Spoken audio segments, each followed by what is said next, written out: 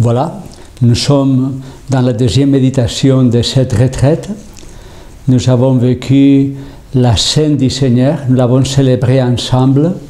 Et nous sommes dans la nuit dans laquelle Jésus, après avoir institué les sacrements de l'Eucharistie avec ses disciples au Cénacle, il les invite à venir prier avec lui.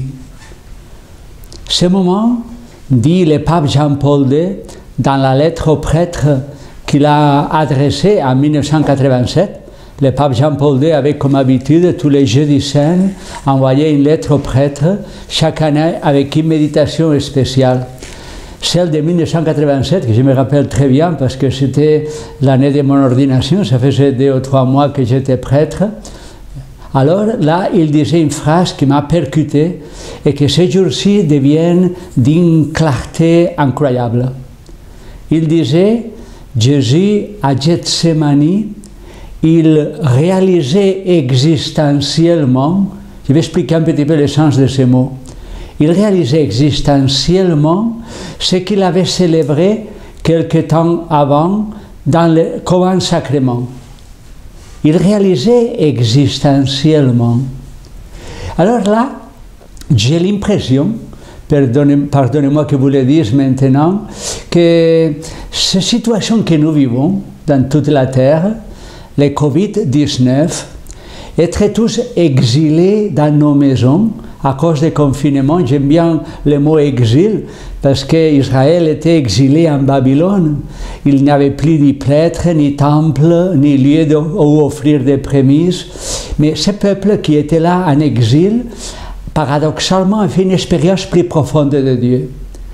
Nous avons célébré la scène du Seigneur, peut-être par Internet, nous n'avons pas communié, nous n'avons pas eu le, droit à, à toucher personnellement le corps de Jésus, mais nous sommes invités paradoxalement à réaliser existentiellement, avec une profondeur inouïe, ce que Jésus dans le sacrement de l'Eucharistie, a voulu nous donner. Et je pense que cet exil dans nos maisons, quelque chose de la volonté de Dieu. Peut-être ce Covid-19 qui touche toute la terre a un sens très très très providentiel dans le cœur de Dieu pour vouloir nous offrir aux chrétiens d'une façon tout à fait inouïe parce que jamais on n'aurait imaginé une chose pareille, de pouvoir réaliser en profondeur, sans toucher les sacrements, mais dans cette communion spirituelle, ce que Jésus vivait.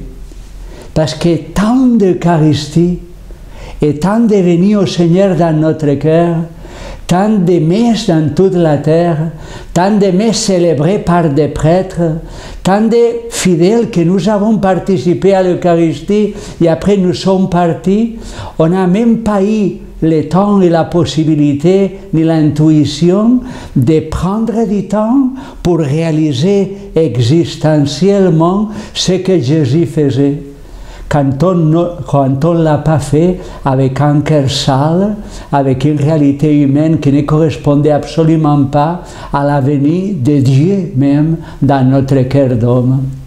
Réaliser existentiellement cette phase du pape Jean-Paul II résonnait encore plus profondément ce soir et je crois que ça correspond pleinement au chapitre 2 du Cantique des Cantiques qu'on va vous proposer de lire ensemble. Je suis vraiment étonné de plus en plus jusqu'où la séquence de ces chapitres du Cantique des Cantiques peut correspondre à un accompagnement de chacun des événements de la passion de Jésus, que c'est une passion d'amour, comme aimait dire le pape Benoît XVI dans la Deus Caritas Est, c'est la passion, l'éros chaste de notre Dieu, qui veut rejoindre notre cœur, pas seulement ma chair, mais mon cœur, pas seulement être une seule chair avec moi dans les sacrements, mais être un cœur qui comprend et alors là, je reviens au mot existentiel que Jean-Paul II utilise dans cette lettre au prêtre. Gethsemane, c'est le lieu où Jésus réalise existentiellement ce qu'il a vécu dans le sacrement. Ce mot existentiel se prête, bien sûr, dans le langage philosophique, à un centrement sur soi, sur le moi. Non? Et alors là, on n'est pas du tout dans le sens de ce que Jésus faisait. Mais Jean-Paul l'utilise consciemment. Existentiellement, c'est aussi réaliser dans l'intérieur ce que le cœur de Jésus vivait dans son intérieur, réaliser intérieurement. Dans la Bible, le mot qui correspond le mieux, c'est connaître. Adam connut Ève. Et c'est là, toute l'écriture le prend au sérieux. On le voit bien dans le prophète Osée, quand il dit Je t'amènerai au désert, je parlerai à ton cœur, et tu connaîtras le Seigneur. Connaître. Connaître signifie réaliser dans le cœur ce que le cœur de l'autre a dedans. Réaliser intérieurement ce mystère d'amour qui s'est fait quand je deviens une chair avec le Seigneur, mais combien de fois un acte sexuel ne porte pas le cœur derrière? Un baiser d'amour un baiser d'amour, peut-être quand l'autre n'est pas présent, quand je ne le trouve pas, il y a quelque chose qui passe à côté. Et justement, le Seigneur nous invite à réaliser cœur à cœur, c'est-à-dire à connaître comme nous sommes connus. Première lettre aux Corinthiens, chapitre 13, verset 13. Nous sommes invités à connaître comme nous sommes connus. Qu'est-ce que c'est beau pouvoir entrer ce soir dans cette perspective. Parce qu'en fait, que veut-il nous donner le Seigneur? C'est dans se réaliser cœur à cœur avec lui, ce qu'il vit dans la nuit de Gethsemane, il vit dans le cœur de ses disciples lorsqu'il est en train de leur dire, vous êtes chair de ma chair, eau de mes eaux, réaliser ce qu'il vit quand il donne la vie pour que nous ayons la vie en abondance. Prendre du temps. Prendre du temps nous renvoie à cette merveille aussi de ce qui se passe à Bethanie dans le livre de Saint Jean, l'évangile de Saint Jean, le chapitre 12, verset 1 à 11, qu'on a lu le lundi saint. Dans cet évangile, il y a beaucoup d'éléments que le Seigneur invite à ses amis les plus intimes à vivre ce soir-là. Ils vont à Bethanie, Jésus avec ses disciples, juste avant la Pâque. Et alors là, il y a un repas chez Marthe, Marie et Lazare. Jésus est menacé de mort. Il traverse cette menace de mort avec un cœur qui est enivré, enivré d'amour. C'est les grands eaux ne peuvent pas anéantir l'amour que j'ai pour toi. L'amour est plus fort que la mort. Cet amour-là est celui que le Seigneur vit dans son cœur. Il veut éveiller à ses amis, à ses disciples, et spécialement les trois intimes, Pierre, Jean et Jacques, à l'accompagner pour comprendre. Y aura-t-il un cœur qui comprend? À Bethanie, Marie avait compris. L'ère de Jésus, l'ère de Gethsemane, l'ère des ténèbres, c'est aussi l'ère de Jésus en cherchant un cœur qui comprend ce qu'il a dans son cœur. La passion de Jésus cherche un cœur qui comprenne. Et à Bethanie, il y a ce contraste que c'est une invitation à entrer, on va le voir immédiatement, dans tous les contenus du chapitre 2. Il y a Marie qui, au pied de Jésus, il brise un vase d'un parfum très cher, 300 dinars, qui, selon l'écriture, ça correspond au salaire d'un ouvrier pendant un an, c'est-à-dire l'investissement très cher de l'année d'une personne il brise cette vase d'un parfum très cher et le verse sur Jésus. Le parfum de ces vaches a rempli toute la maison. Et Jésus a compris que l'heure était arrivée parce qu'il y a un cœur qui comprend son ensevelissement. On va dire un mot immédiatement quand on entrera dans les cantiques des cantiques. Quelqu'un qui comprend les dons total de la vie de Jésus, un cœur qui comprend. Et les contrastes, ici on voit bien à Bethanie que c'était Judas le porte-parole de tous les autres, à Gethsemane, on voit que c'est les autres qui le vivent d'une façon pas trop différente. En réalité, et Judas, il était dans une logique incapable de comprendre les dons d'une vie. Il était dans la logique du besoin, dans les chronos, on dit dans le langage grec, dans les temps logiques qui s'écoulent. Les temps logiques du Covid, ce sont les problèmes qui portent toute cette maladie, ce sont les problèmes aussi économiques qui viennent après.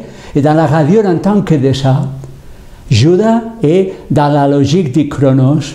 Mais combien de temps d'argent le dépenser avec un parfum quand en réalité il y a tant de problèmes économiques qui sont autour de nous? Mais quelle folie Quelle folie Judas ne comprenait pas à Bethanie. Il était dans cette logique terre-à-terre à laquelle le Covid-19 veut nous, nous, faire, nous arracher pour comprendre la profondeur de la réalité telle qu'elle est. La réalité est le corps du Christ. Y aura-t-il des cœurs assez éveillés à réaliser la réalité sur laquelle nous sommes plongés?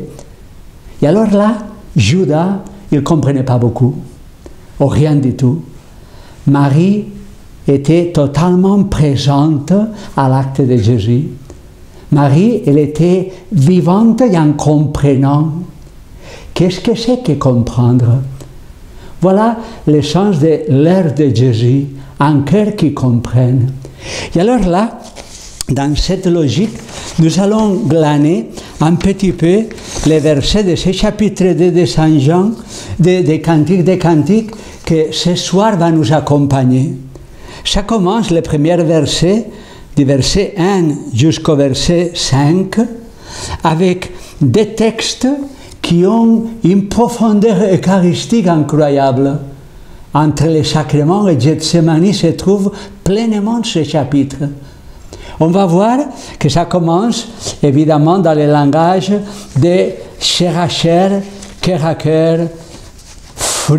à manger, à fruit à manger. Nous sommes éveillés au dodim. Cette phrase est dit par Benoît XVI. Dans ce verset 2, il y a, juste après, pardon, dans ce verset euh, euh, 1 à 5 du chapitre 2, qui suit tous les chapitres premiers, c'est l'éveil des désirs. Et c'est l'éveil des désirs de l'autre, encore centré sur nous-mêmes. Mais cet éveil du désir de l'autre, centré sur nous-mêmes, aboutit dans les versets qui viennent ensuite, que c'est très beau. On voit à contre-jour le sacrement de l'Eucharistie tel que Jésus le vivait. Et on lit, comme un pommier Déjà, la première phrase, euh, Je suis la rose de Sharon, le lit des vallées, dit elle. Elle lui dit, comme le lit entre les ronces, ainsi mon ami entre les jeunes filles. C'est l'éveil de l'admiration mutuelle. C'est le résumé du chapitre premier. Immédiatement, verset 3. Comme un pommier entre les arbres de la forêt, ainsi mon bien-aimé entre les jeunes hommes. Il y a un amour de prédilection, un pommier parmi les autres arbres. J'ai désiré son ombre. Les évocations de Jacques Brel, non Était ombre de ton ombre, non Et je me suis assise. Son fruit est doux à mon palais. Quand on finit le Tantum Ergo avec cette poésie théologique que saint Thomas d'Aquin applique au chant de l'adoration eucharistique, on entre dans cette phrase qui renvoie au livre de la sagesse. C'est une nourriture qui rassasie tous les goûts. Les goûts des valeurs, d'être valorisé, c'est le comble de la valeur de ma vie que Dieu se donne un repas à ma propre vie. C'est le fruit du courage, parce que la, faiblesse et la fragilité sont transformées dans le courage de quelqu'un qui a de la valeur. C'est l'affection la plus grande, la douceur d'un cœur qui comprend mon cœur. C'est le fruit aussi de l'espérance qui, est, euh, qui s'accomplit. Parce qu'en réalité, ce que le Seigneur est en train de nous donner dans cette nuit de la scène, il est dit dans l'évangile de Saint Matthieu, c'est la fin des temps qui s'avance. Je boirai, je ne boirai plus du fruit de la vigne que jusqu'au jour où je le boirai avec vous dans le royaume de mon Père. Tous ces fruits-là, le Seigneur veut nous les donner. C'est le fruit de la fécondité d'une vie. Il rassasie tous les palais. Et alors, entrer, méditer, prendre du temps, être dans le climat eucharistique, de se laisser combler de l'amour infini et chaste de mon Seigneur, c'est la clé de ce qu'on va voir dans la suite dans ces chapitres. Sens eucharistique qui nous renvoie au Seigneur qui se donne à manger. On verra bien aussi au début du chapitre 5, verset 1, où il parle exactement de la même chose. C'est le Seigneur qui prend comme goût de sa vie les frais de m'enivrer, de m'enivrer de lui et de m'enivrer de l'amour infini dont il m'aime. C'est pour ça que s'intéresse d'Avila aimerait tant dire ce qu'Isabelle nous a déjà dit, de, qu'il m'embrasse des baisers de sa bouche, communion de cœur à cœur. Et dans cette communion, le Seigneur nous invite à reconnaître cette phrase qui est le cœur même de Gethsemane, parce que je suis malade d'amour. Quand on n'a que l'amour, la nuit de Gethsemane prend tout son sens dans le cœur de Jésus, justement parce qu'il veut introduire son disciple existentiellement dans ce cœur où on dépasse le stade de la pure logique chronologique et on laisse Dieu pénétrer comme un kairos dans la réalité que nous vivons. C'est de là que jaillissent les scènes. Cette semaine, j'ai pensé à Joseph de Baldessari, cet prêtre en Lombardie qui était porté par ce kairos de Dieu à l'intérieur d'une logique de mort. Il était là-dedans parce qu'en réalité, il avait un jeune qui n'avait pas la possibilité de respirer, il n'y avait pas de respiratoire, et alors là, et lui a senti l'appel du Seigneur à lui céder son respiratoire pour que lui puisse vivre. Et ça sentait l'odeur de ces parfums, sentait dans toute la maison. Il y a les témoignages des médecins qui se disaient athées dans cet hôpital. C'est poignant ce témoignage.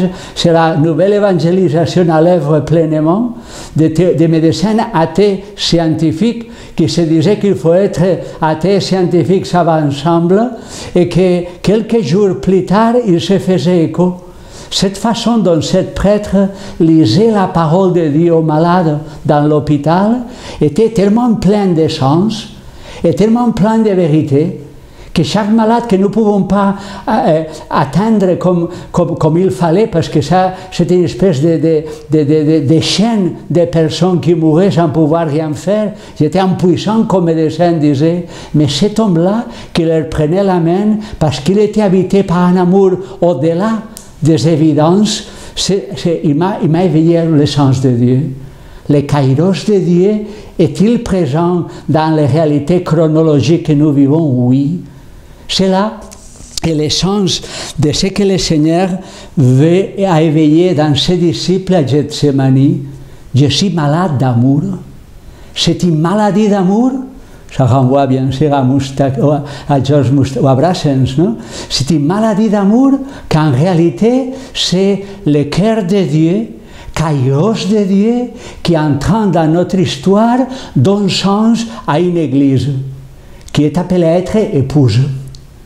Y a Gethsemane, c'est encore Saint Jean-Paul II, dans une méditation aux jeunes, dans la préparation de Jimmy à Rome, qui disait Ce soir-là, l'Église, j'aime bien faire la voix de Jean-Paul II parce que ça me faisait tellement de bien à moi quand je l'entendais, l'Église n'était pas présente.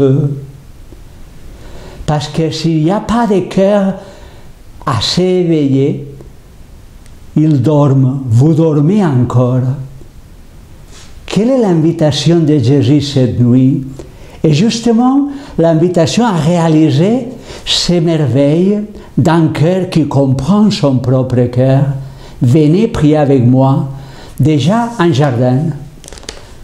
Gethsemane, c'est un jardin que pour la plupart d'entre nous, ça évoque le lieu de l'agonie de Jésus. Et bien sûr, c'est le lieu de l'agonie de Jésus. Mais le mot utilisé a une résonance biblique incroyable. Jardin. C'est le même mot qu'on va utiliser dans ce chapitre 2 quand on parle du bien-aimé qui traverse les montagnes, qui traverse les abîmes et qui vient me rencontrer là où je suis. Lève-toi, ma belle, c'est le verset suivant.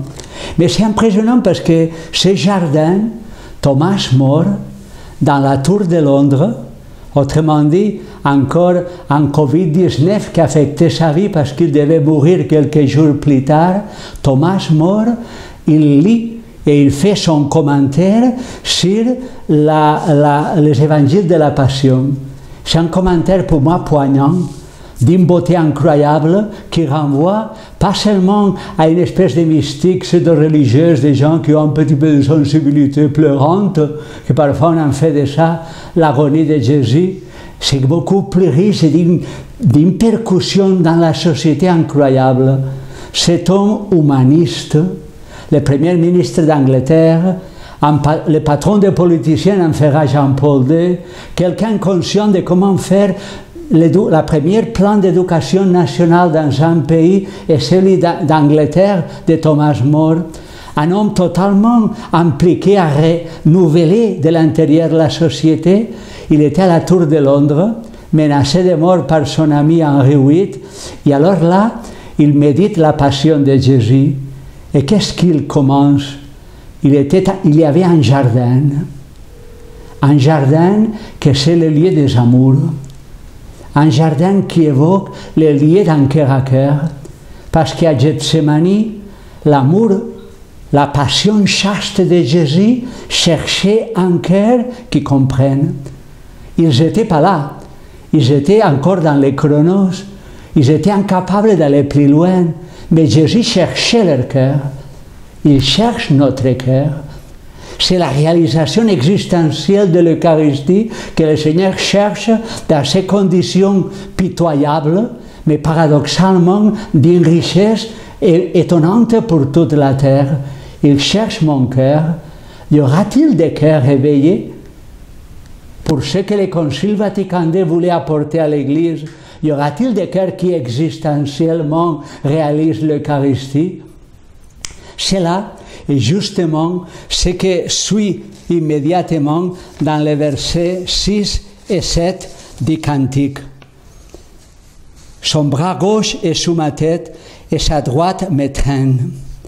Parce qu'en réalité, manger, manger les fruits, les fruits de mon amour, et justement vivre une étreinte que personne ne peut enlever. Je vous en conjure, fille de Jérusalem, par les rachels, par les biches des champs, n'éveillez pas, ne réveillez pas l'amour avant qu'il le veuille. Entrons dans ces versets, parce qu'en réalité, qu'y a-t-il derrière ces versets profondément eucharistiques des cantiques des cantiques? Je mange objectivement Jésus dans l'Eucharistie, mais j'ai besoin de prendre du temps dira Saint Pierre, jusqu'à ce que la parole s'éveille comme une étoile dans le cœur, dans vos cœurs. S'éveille comme une étoile. La même étoile qui faisait aller très loin de l'Orient jusqu'à Bethléem les mages, portés par une étoile. Cette nuit, on a besoin d'éveiller l'étoile de nos cœurs, l'étoile d'un cœur éveillé à notre cœur, que c'est dans cette rencontre qui traverse la nuit. Thérèse de l'Enfant Jésus est une des interprètes les plus belles et significatives de ces pas laisser dormir jusqu'à ce qu'il se réveille. Juste après l'orage, apaisé par Jésus sur le lac de Tibériade, il y a Jésus qui se fâche avec les disciples. Et il leur dit, homme de paix de foi, il crée un bouleversement encore plus grand. Mais en réalité, Thérèse de l'Enfant Jésus comprend une phrase qui est au cœur de la nuit de Gethsemane. C'est je ne vais pas les réveiller. Jésus dormait sur la barque, je ne vais pas les réveiller. Parce que plus je traverse les difficultés avec lui, et plus mon cœur approfondit et réalise comment il est vivant au plus profond de mon cœur d'homme et de femme. Le Seigneur, combien de fois s'est enseveli par l'Eucharistie dans ma chair, ce mot ensevelissement a une portée existentielle incroyable. Il s'est enseveli.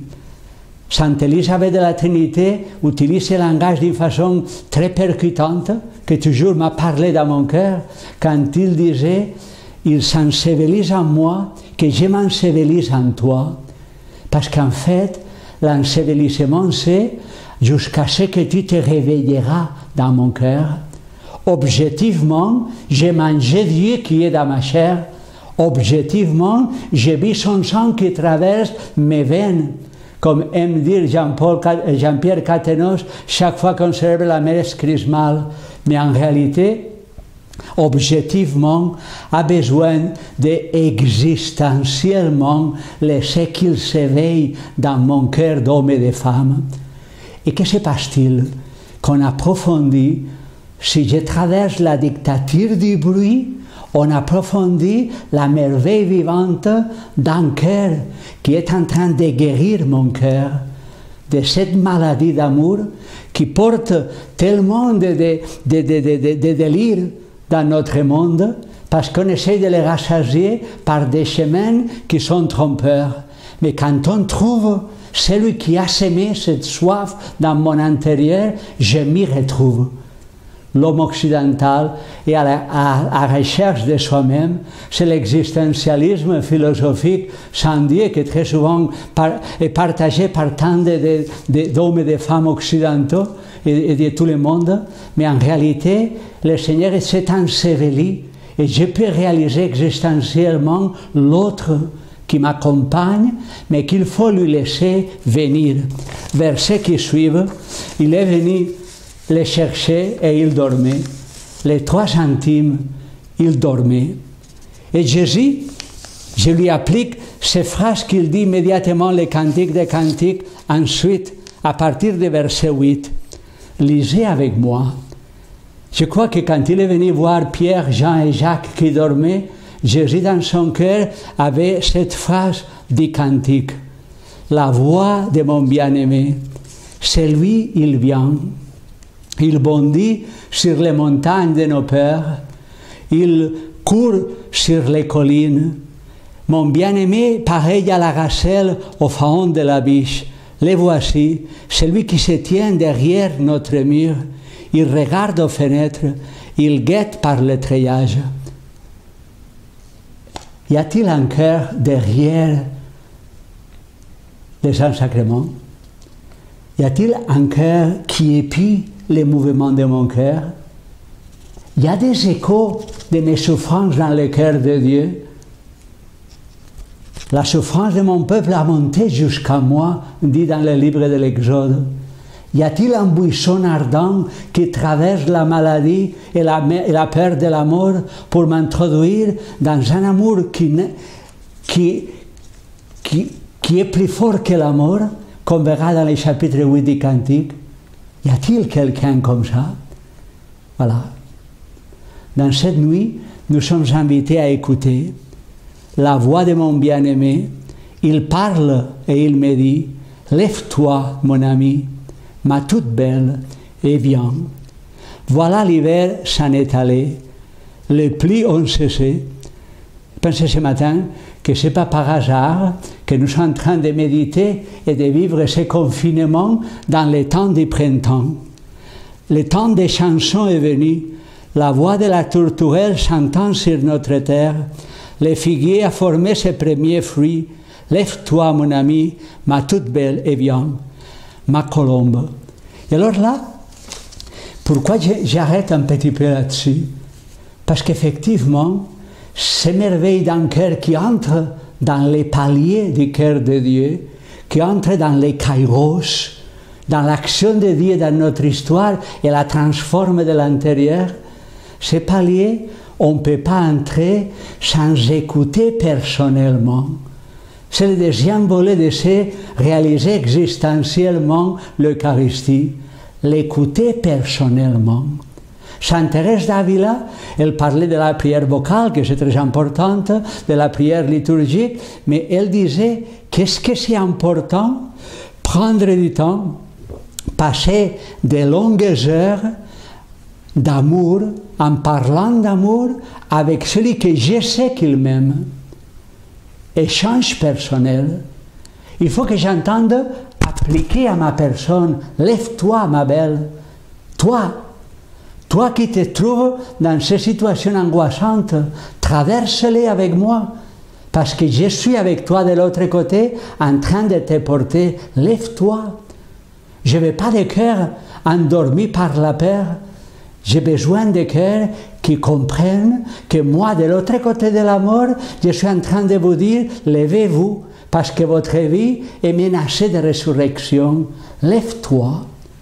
Osez le dialogue personnel de le Concile Vatican II, le cœur même de la prière de Jésus, et le cœur même de la prière de l'Église, et les droits que tous les baptisés nous avons de pouvoir réaliser une fois dans notre vie c'est Gethsemane, lève-toi, parce que le Seigneur vient de passer tous les névroses de notre cœur. Comme c'est une réalité d'amour, les névroses apparaissent. Qu'est-ce que c'est que les névroses? Le repli. Le repli. Peut-être que je me suis ouvert une fois, il m'a maltraité, et mon cœur qui est hypersensible s'est replié. Peut-être j'ai fait confiance à quelqu'un, il m'a trahi, et mon cœur qui est hypersensible est détruit. Peut-être j'ai essayé de faire des chemins avec d'autres pour un projet qui tient la route et j'ai vu que les gens, ils apparemment cherchaient un projet, mais en réalité, ils se cherchaient eux-mêmes. Et je suis blasé. Ces réalités qui blasent mon cœur, en réalité, le Seigneur les dépasse. Il vient les dépasser ce soir-là. Pierre, Jean et Jacques, qui avaient entendu dans la transfiguration les merveilles de celui qui leur parlait, ils étaient atterris par la peur. Le Seigneur vient rejoindre nos pères. Gethsemane, c'est ce lieu privilégié où le Seigneur vient lui laisser venir là où ça fait mal. Et lui laisser venir là où ça fait mal, il y a un déclic intérieur que le Seigneur veut nous donner. Et qu'est-ce que c'est beau ça hein? qu'est-ce que c'est beau? Pouvoir, pouvoir euh, euh, se laisser pénétrer par le Seigneur quand il me dit, moi caché dans les fentes des rochers, il me dit, laisse-moi voir ton visage, laisse-moi entendre ta voix, parce que ton visage est beau et ta voix douce. Autrement dit, je ne vois pas en toi ce que tu vois, tu es infiniment plus beau antérieurement de ce que tu imaginais. Alors, que se passe-t-il? Immédiatement après, il y a, c'est la fin de ce chapitre, dans lequel la réalité de l'amour commence à prendre dans le cœur de l'aimé. Mon, mon aimé est pour moi, moi je suis pour lui. Gethsemane, c'est l'invitation de Jésus à réaliser existentiellement ce que l'Eucharistie avait promis sacramentellement, réellement. Moi, je suis pour lui, lui, il est pour moi. Et alors là, dans cette nuit, il se peut que mon intérieur commence à traverser ce regard petit et commence à s'unir personnellement à lui. Y aura-t-il des cœurs qui s'unissent à mon cœur? Et c'est la dernière phrase de ce chapitre 2. Il dit Mon bien-aimé est à moi et moi je suis à qui mène paître ses brebis parmi les lits. C'est-à-dire, le Seigneur va m'introduire à Pierre, à Jean et à Jacques. Il va nous introduire dans l'amour même dont il aime les personnes qui lui sont confiées. C'est l'Église qui s'élargit dans le cœur. C'est l'Eucharistie qui commence à se réaliser dans cette nuit. Amen.